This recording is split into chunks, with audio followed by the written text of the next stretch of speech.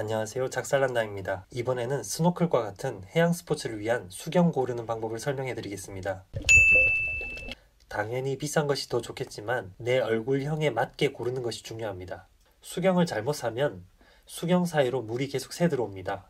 수경은 잘생긴 사람용이 있고 못생긴 사람용이 있는데 저는 잘생긴 사람용 수경은 다이빙 용품점에 직접 가셔서 써보시고 본인 얼굴 등급에 맞는 것을 고르셔야 합니다. 착용했을 때 당연히 빈틈이 없어야 하고 코로 숨을 들이마셨을 때 공기가 새지 않아야 합니다.